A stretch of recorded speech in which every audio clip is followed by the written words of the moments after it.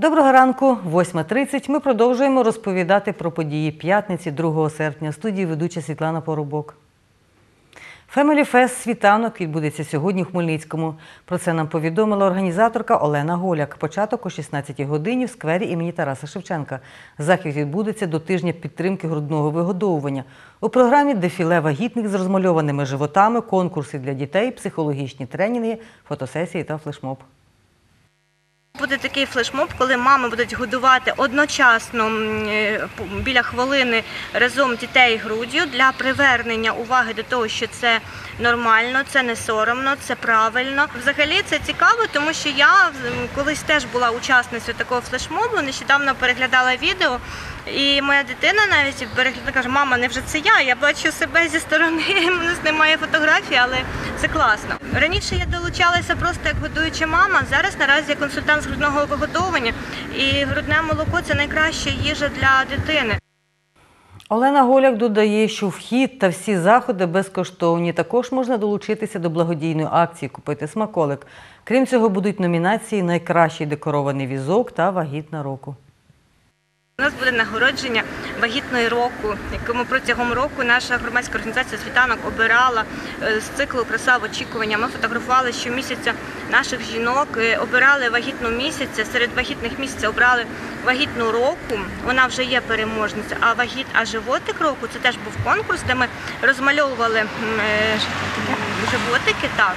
І є переможницею місяця, але переможниця року буде обиратися саме у нас на святі на заході шляхом голосування, де кожен хмельничанин може долучитися і допомогти нам обрати цей животик року. Оборонну вежу Старокостянтинові реконструюють. За 250 тисяч гривень виготовили проєктно-кошторисну документацію на реконструкцію. Про це розповів начальник управління культурної політики та ресурсів виконавчого комітету Старокостянтинівської міської ради Василь Муляр. За його словами, для реконструкції вежі знадобиться 30 мільйонів гривень. Востаннє значних руйнувань нині пам'ятка національного значення зазнала під час Першої світової війни у 1919 році, каже науковий співробітник місцевого музею Олена Журавльова. Після того не реставрувалося жодного разу. Це будівля 16 століття, яка будувалася одночасно замком в 1561 році. Почалось будівництво і будівництво князем Василем Костянтином Острозьким, будівничим власне нашого міста. І сама вежа це типова волинська башта. Е, Має 41 метр висоти, знаходиться на самому березі, збудована на самому березі річки Случ Е, і квадратна. Мала не лише культове призначення, але мала ще оборонне призначення. За словами Василя Муляра, коштом Староконстантинівського міськвиконкому проектну кошторисну документацію на реставрацію почали виготовляти з 2017 року. 250 тисяч гривень, які ми проплатили. Ну і пройшли вже е, державну експертизу. Тобто е, документація як така готова до використання, тобто для проведення е, проектно-реставраційних робіт. Що ми ще зробили? Значить, ми подали Державний фонд регіонального е, розвитку.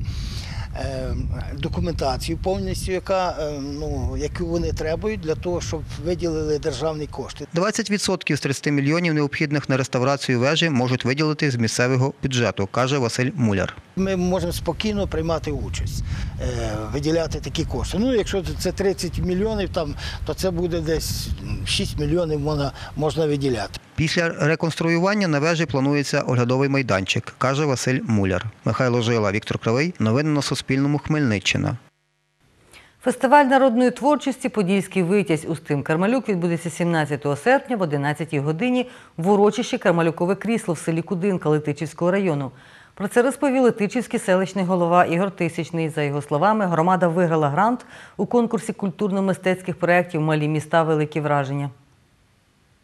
Це виразилося в е, вираженні фінансовому 175 тисяч це державний і спів 70 тисяч співфінансування наше. Наша сесія вже виділена це. Плануються наші колективи, колективи е, сусідніх наших е, громад, районів. Також е, вже дзвонили до нас і Вінниччина. Вони до нас були на день міста, Київщина, митці різні, сувеніри народні, ну розважальні програми, програми для дітей. Це буде на березі річки. Нагадаю, шість громад Хмельниччини виграли в конкурсі Малі міста великі враження. Це Нетішин, Славута, Старокостянтинів, Полонне, Дунаєвці і Летичів. 50 робіт представила на виставці світлин The Best у Хмельницькому музеї студії фотомистецтва грузинський фотограф Наталія Звіададзе. Роботи виконані в різних стилях: це стріт, натюрморт, портрет і світловий пензель. Це перша персональна виставка фотохудожниці у Хмельницькому. Світлини експонуватимуть до 20 серпня. Это как бы о- отголоски французской школы. Це відголоски французької школи в грузинському виконанні. Що особливо мені тут сподобалось, це достатньо мало гламура. Він практично відсутній. І стримана гама, така некриклива, дуже стримана кольорова гама. Індивідуальність в ній збереглася. Чорно-білі роботи, портрети, вони такі багатоликі. Що цікаво, це виконання в стилі світлового пензлика. Ефір на суспільному мовнику Я Поділля продовжить твій ранок, а ми з вами зустрінемося о 13.30.